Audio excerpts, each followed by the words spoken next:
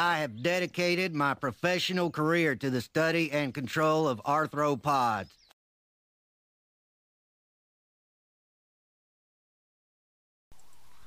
Okay, so now this is this the next section of my uh, of part four.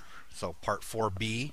Uh, this is going to get really confusing. I should have organ- I should have thought about the numbering of these a lot earlier. But anyway, that's okay. So now intersexual selection. So I, I talked in the last part about how the reproductive cost to different to sexes may be different between males and females. Um, a male may want to maximize his reproductive output by mating with as many females as possible. A female may maximize her reproductive output by choosing the best quality male, or she might choose characteristics in the male, such as um, does he build a good nest? Um, what has he done in the past? Remember, a lot of these, a lot of birds, for example, are really a lot more have better memories and are very much more observant than we've given them credit for. So seeing how a male has behaved, seeing how the males behaved with other females. Sometimes it might be in a female's best interest to steal a male from a female if he sees that this male is particularly caring or particularly good. Um, this again happens in our society.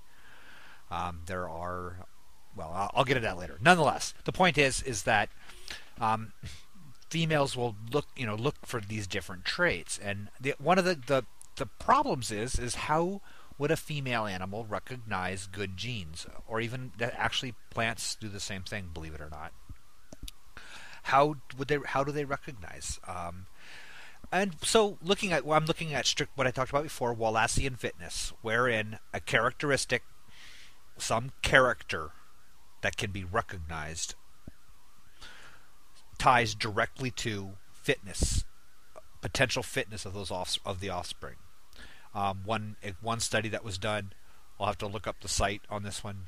Had to do with uh, one of the um, not peacocks, they're uh, pheasants, ring-necked pheasants, where they found that a um, the spur length of the male, which aren't in the species used in combat, not like chickens. So the spurs, the length of the spur really doesn't do anything for the bird. It doesn't make the male better at anything in his life. But there's a correlation between spur length and survivability of his offspring. Longer the spur, the healthier his offspring seem to be. Um, people they suspect that has something to do with um, hormone levels that produce the spur. It's not that the spur itself influences it. It has to do with the the chemical features, the physiological trait that produces the big spur, also produces stronger offspring. So females will choose males based on that spur length. Um, so that right there, you know, there's there's a, that's that's an example. That's where there's truth in advertising. That's pure Wallacean fitness at work. um, but there's a really fascinating area that goes into it. And this is this is great stuff. It's called cryptic female choice. Um, there's a researcher uh, Eberhard that's done a, has a book on uh, sexual selection and cryptic female choice, which unfortunately I don't own. I have a couple of photocopies of chapters of. I don't have the original book. I'd love to get it, but it's way outside of my price range. Um, actually, he's got a couple of books I want. But this cryptic female choice. Now, this is amazing to me. Okay, this is again, this is pure intersexual selection. This is pure battle between the sexes, and this can be as simple as a lot of species. Um, chickens. There you go. Chickens are one of them. The common barnyard chicken. Uh, what is it? Uh, Gallus multiformis. I, I don't recall. Um, females, if if you've ever seen chickens, you know females run away from the males. They run. F- males catch them and mount them. Female doesn't have a whole lot of choice, right? You would think, given that reproductive behavior, that a female would um, basically father or son, father isn't the right word, let, uh, mother to whatever offspring of whatever male happened to catch her. Um, you know that's that's it's it's you know, kind of a brutal uh, situation. Mosquitoes again. Um, b- brutal situation, but it works with that species. But studies have shown that there tends to be, um, yes, it's true. Females will mate with whatever male catches them. So you've got a bunch of chickens, bunch of hens. You've got big bad rooster, and you've got a couple of other lesser roosters. Obviously, if you've seen chickens, the big rooster chases all the little males away, keeps them at bay. If he observes one chasing a female, he runs up and attacks them, knocks them off, and will actually mate with the female immediately afterwards. Um, so that right there prevents that social system prevents the female from necessary from you know she's obviously more often than not producing chicks from the dominant male. But then there's they found that there's another method they use. Females when they, they, they don't have you know these they, they have internal fertilization obviously chickens do um, but the sperm packet of the male is kept in the cloaca of the female and she can choose to let it go further and fertilize the eggs or she can walk away and extrude it she can shit out the sperm if she wants to she doesn't have to use it for her eggs so it's in her best interest to let this male do his thing and if it's not the egg she wants, if it's not the father she wants, she there it goes. Um, so she's ensuring that she's getting the best possible sperm. That's a real simple concept.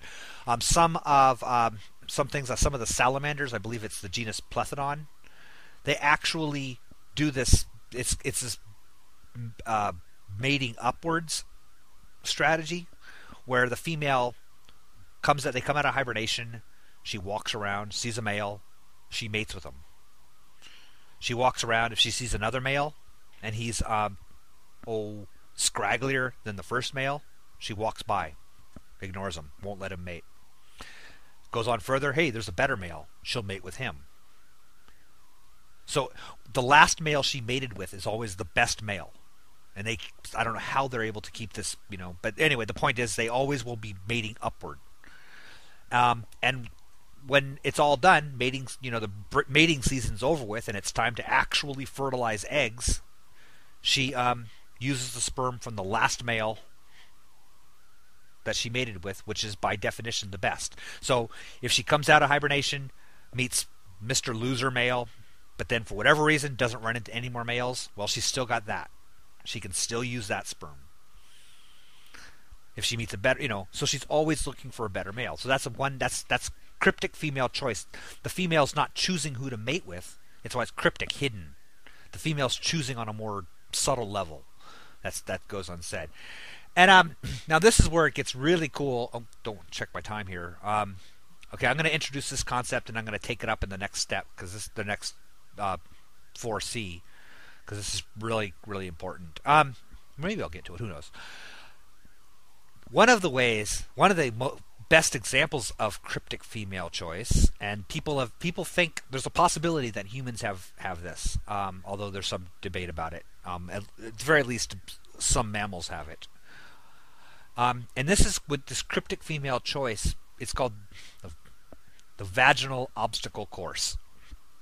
It's kind of funny, um, but what this is is the idea that there is also a. I talked about spurs in the pheasants. There's a correlation between sperm motility and the fitness of the parent. Okay, and some of the cause is this isn't always the case, but some of the causal factors of it have to do with the um, just the, the genes that produce longevity, longevity, uh, survivorship, vitality, also tend to pr- have spare resources to make you know better swimmers in sperm. Not all. Like, again, it's not always, but it, in, it's definitely the case in species, and it has been tested to be so. So you've got strong male has strong sperm. Um, you know, oh, anyway, I'll let the let that. There's somewhere there's a bad joke in there somewhere. I'm going to let it go. Um, so how does the female know the sperm is strong? Well, by making the distance the sperm has to swim to get to the egg as difficult as possible, she's ensuring that only the best sperm are going to make it to the egg. So even if she mates with multiple males, only the ones from the best. And within the ejaculate of a single male, only those best sperm that have the most, the strongest, you know, no mutations, no defects, no anything, are the ones that are likely to make it. Okay? So you start getting into this. Okay, now I'm going to continue on with the vaginal obstacle course.